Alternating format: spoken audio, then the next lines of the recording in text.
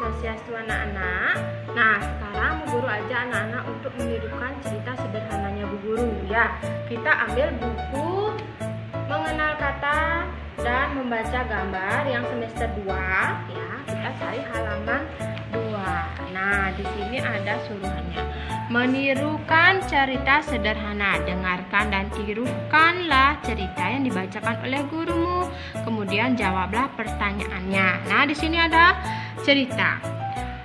Becak di taman kota. Rodanya ada tiga. Dikayu oleh ayah. Aku senang menaikinya. Guru ulang lagi sekali. Becak di taman kota.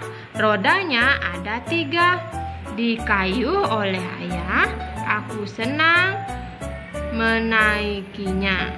Ya.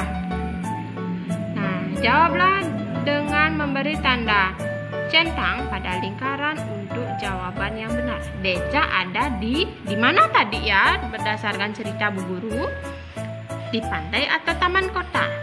Ya, beca ada di taman kita beri centang ya lingkaran yang di bawahnya ya di taman kota. Ya, seperti itu anak-anak. Selamat berlatih di rumah. Terima kasih.